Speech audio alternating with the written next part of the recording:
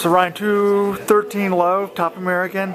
Um, what do you think that's worth, like, you know, windy conditions? What would be worth in good conditions? It's really challenging to say, but judging by, you know, what's something that Mutai has run three minutes off his best here today, I think that you can take that as somewhat of an indicator. Um, so I hope a few minutes. I feel like I was in a lot better shape than 213. Uh, but we'll see when I get a chance to get on a faster course and a faster day. Yeah, so I, I was starting to write my analysis, and I was like, it's definitely at least, I think it's 210. Yeah, I hope so. You know, it's a big goal down the road to eventually try to break 210, and I think only 16 Americans have done that. Yeah, absolutely. Um, I, you know, I'll have to get into the right race and the right conditions, but I think that's definitely a possibility before 2016. I think it's a necessity to, to get me, uh, you know, to really call myself a contender going into the trials for 2016.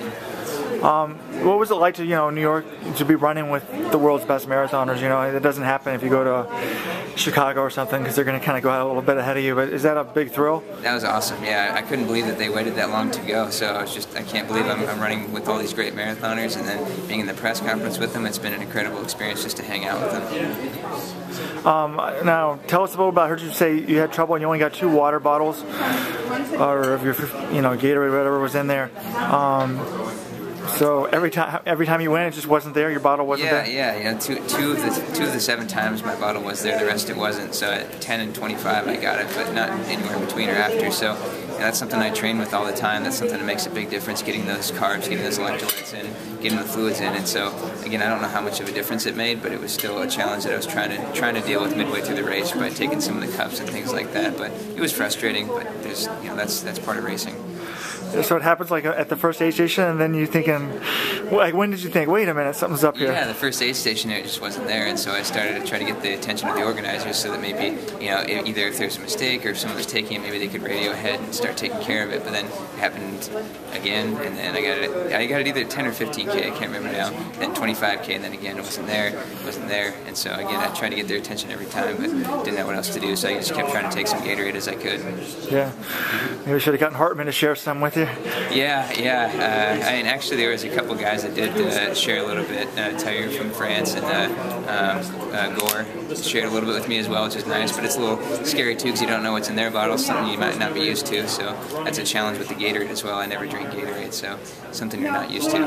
What what what, what did you have in your bottle? Like, what do you like to have in it was, there? It was power power bar energy gels, so a little caffeine, some sugar, some electrolytes. Right. So then the race kind of tell us about the end. Is it kind of there's not really any packs? Is that kind of challenging to sort of run?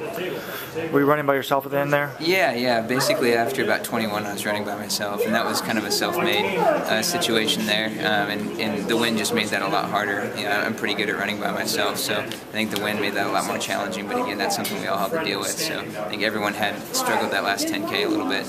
And how windy was it out there?